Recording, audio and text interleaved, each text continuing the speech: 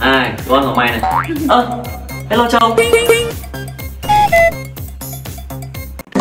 Ai ốt mà? Nào ăn thử đi. Ơ à, sao nó không ăn? Ê em vừa mới bị dạ dày vừa mới ra bị ấn à? cái gì đấy? Này á? Món tao mới sáng chế đấy. Khoai tây chiên trộn lẫn vừng Mọi người ăn thử đi. Tư Em thử chơi đi.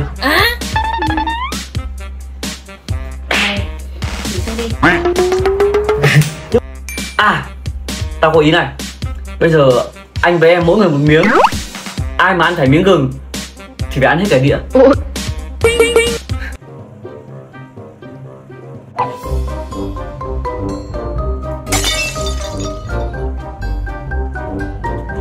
gừng đúng không?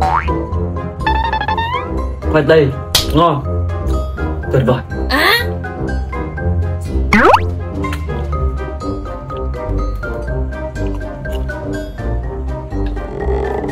Gừng đúng không? Lên khoai tây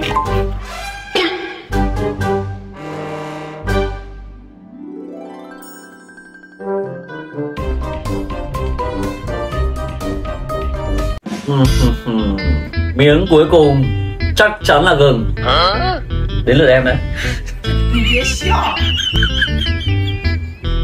Gừng đúng không? Chưa đang hết đĩa rồi à? Ngon không? Ngon mà Bạn quên không cho gừng đúng không? Bộ đồ ăn chả thấy miếng gừng nào cả Thực ra là tôi quên không cho khoai tây à, Thì ra là quên không cho khoai tây